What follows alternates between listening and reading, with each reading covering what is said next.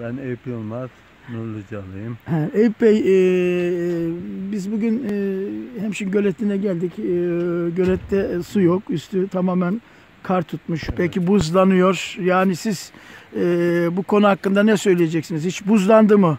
Yani bugüne Buzlanmadı. kadar. Şu ana kadar hiç buzlamadı. İlk defa bu sene kar gördük göletin E, üzerinde. göletin üzerinde ilk defa bu sefer defa kar görüyorsunuz.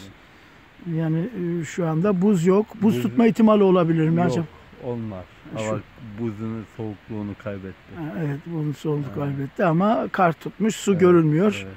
Evet, e, çok teşekkür ederim. Teşekkür Gördüğünüz ederim. gibi değerli izleyicilerimiz şu anda e, gölette su görülmüyor. Suyun üstü tamamen kar tutmuş. E, buz tutar mı diye sorduk.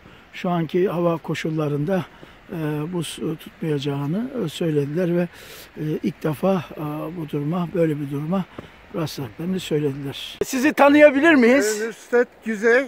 E, Cuma iniyorum böyle. Beklenen kar da geldi şu an. Evet, şu anda e, gördüğünüz Beklenen gibi. kar da geldi işte. Cuma gidiyoruz. Yollarımız açılacak işte. Karşı Zuva Çamlıtepe yolunu açtılar. E, Bilenköy'den şu an e, bir saat iki saat sonra gelir açarlar. Bu yol Yetkililer. Bilenköy yolu değil mi? Bilenköy. Bilenköy yolu. Yol Evet. kapalı mı? Yol kapalı ve de ağaç derbilmiş yollara bir iki. Artık onlar da gelir şey yapar.